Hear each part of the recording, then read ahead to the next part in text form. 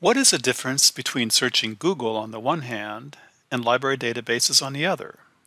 In a word, records. Google doesn't have them. Databases do.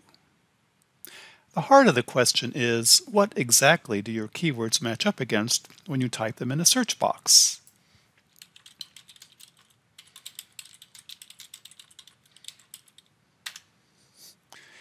Google finds your keywords in the titles, URLs, and, significantly, in the actual text of web pages, as you can see from scanning the results.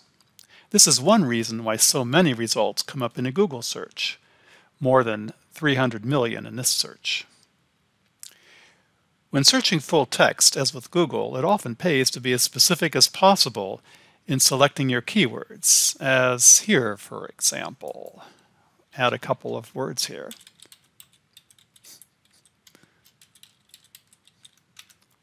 Notice how I narrowed the results down to just over 170 million, including scholarly journals, commercial and government websites, and the websites of professional organizations.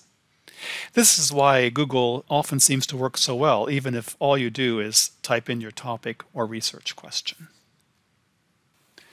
The same strategies don't always work in library databases. Why? It has to do with how these resources are put together. Upstate's library search, for example, helps you discover both physical and online materials owned or supplied by the library. By its nature, it cannot search the full text of all of these items, such as the print books on the library shelves. Instead, each item in the library's collection is represented by a bibliographic record, or record for short, which gives certain information about an item. Your keywords match up against words in this record.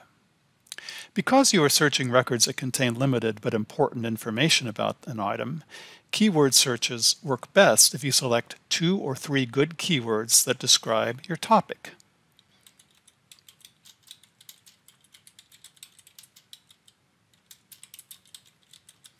and I'm going to select at USC Upstate Library here to limit my search to books, physical media, and ebooks.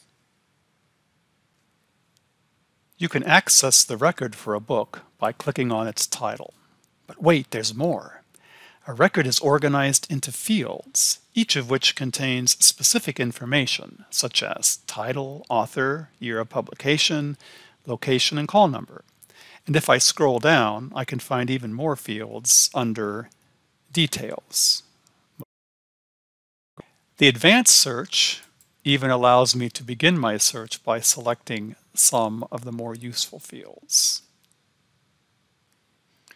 Here is a record from Academic Search Ultimate, one of our popular article databases. You can see several fields displayed, and I can select a field to search from the menu next to the search boxes. Some databases, like this one, allow you to search any full text that is present. But bear in mind that a lot of articles won't have full text in the database, so you will still be relying on information from records for many of your searches. Remember, searching library databases is different from searching Google because your search terms are actually matching up against words in a record rather than full text.